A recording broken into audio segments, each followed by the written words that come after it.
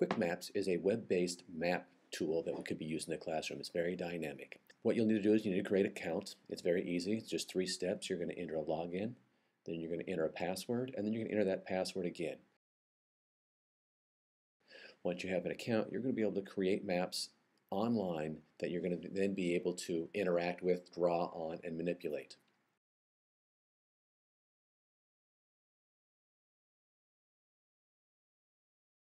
We're going to go ahead and start and sign in to your account. Once you log in, you're going to have a blank dashboard to start with, but later it will be populated with your maps. Go ahead and say create a new one, and then go to. You're going to enter in a location that you want to work from.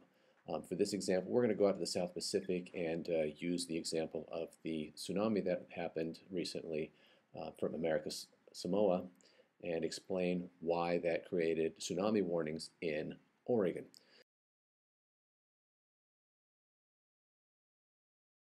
So you can go ahead and take any one of these icons off to the right and you can place it onto your map. It's now going to stay at that location.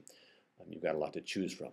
We're going to go ahead and do the scribble tool and we're just going to draw little curved lines in just a little circular motion all the way from the tsunami and slowly get them larger and larger to see, see the effect of the wave as it moves across the ocean. Um, so you can navigate through here uh, by moving. Your little hand will allow you to uh, move the map. You can zoom in and out, or you can use the left, right, up, down arrows to move the map as well. So once we get all the way through here, go ahead and toggle up a little bit more. Scribble the rest of the way, and then all of a sudden we see that this wave has grown and grown and kept moving forward until it has hit Oregon.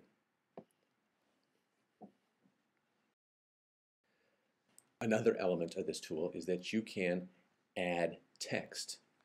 Go ahead and click and drag the letter A over there, put it where you'd like to place it, enter in your text, and then you can add text to your map as well.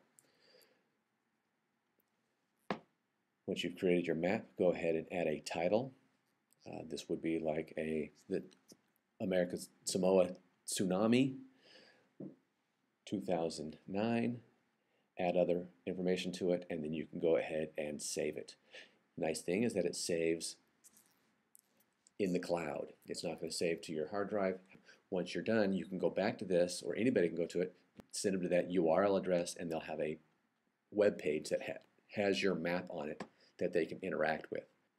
The lines that you created or whatever you did with that map is a unique web page now that people can get onto and look at.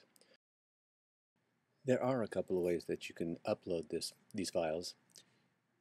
You can upload it as an XML file, which is a file that can then be opened in Google Earth.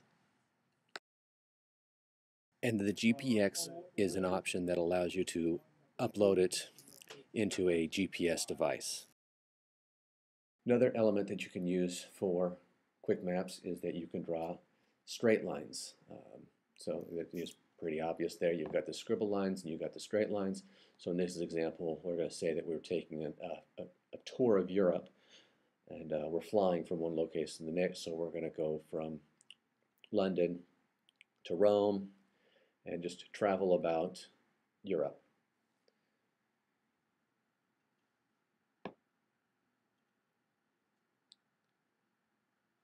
This could then be a part of a presentation that explains many things regarding that, that you would want to have a map with points of destinations and travel path, paths into. It could even be a, a math assignment. It could be a science experiment uh, explaining the, the impact zone of, say, Chernobyl. A lot of different elements that you might want to draw lines on maps and then have a web page that you could then go to as the source of the visual for that presentation.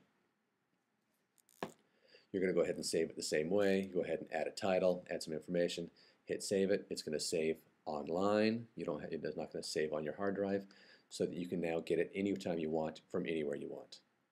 You'll also have that URL address that will then allow anybody to look at it um, without having to sign in. Another great thing about this tool is that you can also map the surface of the moon. You can map the surface of Mars, and you can interact with a map of the night sky. That is Quikmaps. I hope you find great use.